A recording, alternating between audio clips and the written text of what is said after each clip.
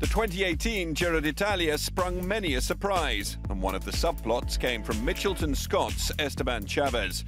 The Colombian rode the highs and agonized tremendous lows after suffering allergy reactions and later being diagnosed with the Epstein Barr virus, subsequently keeping him sidelined for eight months.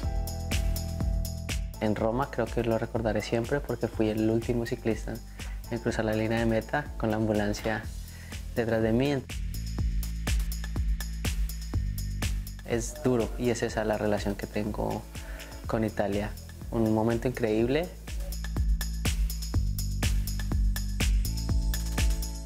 Y otro momento desastroso. Chavez, the tandem for Mitchelton Scott that have literally taken this race apart today. Fantastic scenes here on the slope of Mount Etna. A spectacular finale to stage six of the Giro d'Italia. This is what the Giro is all about. Some of the most unpredictable racing you would ever wish to see. Chavez takes the win from Yates. Wonderful stuff from Mitchelton Scott. Empezamos de una manera muy bonita, lo que pasó en el, en el Etna y, y el, el que tuviéramos la camiseta en el equipo, la camiseta de montaña fue realmente espectacular. Luego lo que, lo que me pasó fue difícil. The climb that started off today wasn't a small one at all. It was a nasty, spiteful ascent. He's hurting, and there is still 100 kilometres to go for this group.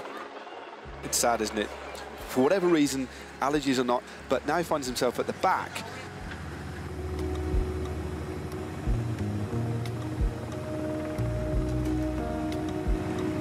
Cuando tú vas creciendo a lo largo de tu vida, llega un momento en el que aprendes varicela, que son esas ronchas rojas que te salen en el cuerpo cuando eres niño, que te rasca un montón. Entonces tienes varicela, ese es un virus que te entra en el cuerpo. Todos los seres humanos tenemos diferentes tipos. Normalmente solo le da a los seres humanos una vez en la vida, pero por algunas otras circunstancias tu sistema inmunológico está muy bajo y esto puede volver a actuar. Y eso fue lo que pasó conmigo, con dos tipos de, de virus que normalmente uno tiene en el cuerpo pero nunca actúan hasta que el sistema inmunológico está muy deprimido. Y se deprime porque nosotros viajamos mucho, eh, nos ponemos mucha presión, porque mm, entrenamos mucho, porque hacemos mucha dieta, entonces por tratar de hacer más se hizo menos. Moving towards the back of this group now. Oh, no. This isn't good at all. Back, what we are now seeing, he's looking down. The composure has gone, and the body says there's not much left at all.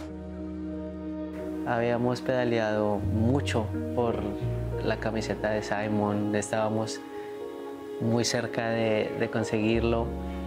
Habíamos pedaleado ese día por más de seis horas haciendo todas estas subidas imposibles en Italia y llegar y tener la noticia de, de que Simon había perdido la camiseta me quebró totalmente y, y lloré.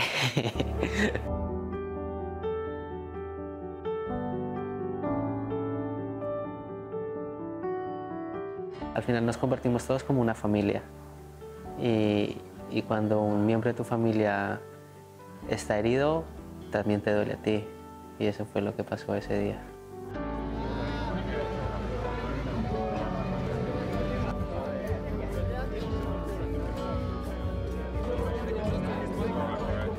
Bueno, pues al final somos seres humanos también, ¿no? Y así como nos reímos y disfrutamos y somos fuertes y, somos unos campeones, también lloramos y tenemos miedos y estamos asustados y pasamos por momentos difíciles y eso es lo que nos hace seres humanos y, y yo creo que también eso nos hace los buenos deportistas que llegamos a ser en algún momento de la vida. Entonces no hay, no hay que tener miedo de, de decirlo. El que no lo diga o el que diga que no lo siente es un mentiroso. Tenemos que empezar de cero y así vamos creciendo poco a poco, con paciencia, con amor y algo que es muy importante, disfrutando.